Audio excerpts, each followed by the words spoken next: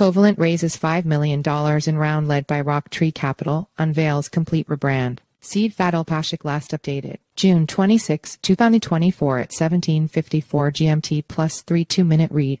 Blockchain data infrastructure Covalent has announced the successful closing of a $5 million strategic funding round. According to the press release shared with Cryptonews, Rocktree Capital led the round with participation from major Asian investors, including CMCC Global, Moonrock Capital, and Double Peak Group. Covalent has also unveiled the New Dawn initiative. They describe it is a complete rebrand that will bring the project closer to its crypto native community and farther from corporate influences, expanding through Asia. The Covalent team said that they would use the funds to expand Covalent's operations to Asia. Furthermore, it will be utilized to support the adoption of long-term data availability in China, Korea, and Singapore. Company founder Ganesh Swami commented that Asia is an emerging crypto hub, showing immense potential to become the leader of the next bull run. With the Ethereum Wayback Machine EWM as a gateway to permanent data, we are excited to bring long-term data availability to Asian countries to boost local adoption and innovations, he remarked. The team wants to make blockchain data more accessible and scalable, saying that this will enable them to provide the most robust data infrastructure to cultivate blockchain and AI innovations in Asia. Therefore, Asian developers and users can now utilize Covalent's EWM and broad dataset to innovate and scale, the announcement stated. Responding to the need for permanent and verifiable blockchain data, it said the team created the EWM,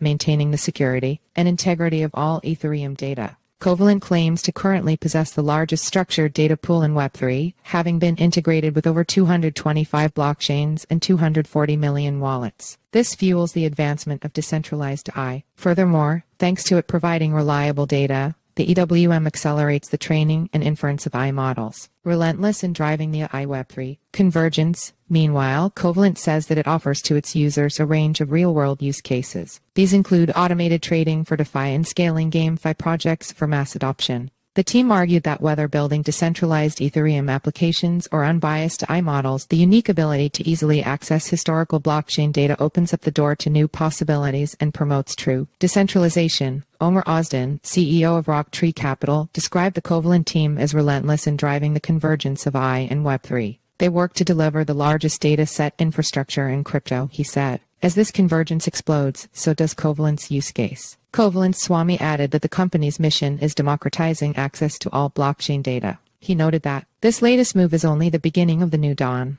a series of Covalent upgrades to strengthen our commitment to data availability and decentralized AI. Meanwhile, the move follows the mid-June announcement that former BitMEX CEO Arthur Hayes joining Covalent as a strategic advisor. Also in June, Covalent committed $2.5 million in grants through the Consensus Builder Scale program. Follow us on Google News.